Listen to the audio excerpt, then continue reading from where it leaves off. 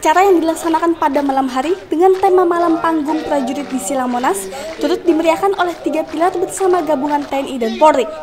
Acara tersebut turut dihadiri oleh Kepala Kepolisian Republik Indonesia Jenderal Polisi Tito Karnavian, Panglima TNI Marsikal TNI Hadi Cahyanto, serta Gubernur DKI Jakarta Anies Baswedan dan seluruh jajaran pejabat utama TNI dan Polri.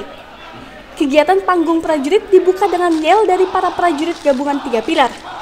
Acara dilanjutkan dengan makan malam para prajurit bersama Panglima TNI, Kapolri, Gubernur DKI Jakarta, dan jajaran pejabat utama TNI Polri.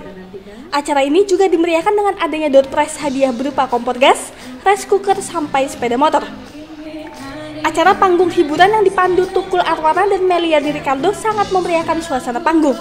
Sejumlah penyanyi papan atas ibu kota seperti Via Valen, Zaskia Gotik, dan lainnya ikut tampil memeriahkan acara dan menghibur para prajurit TNI Polri.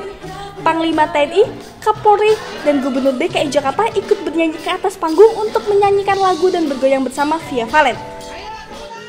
Dari Jakarta, tim liputan Tribata TV, salam Tribata.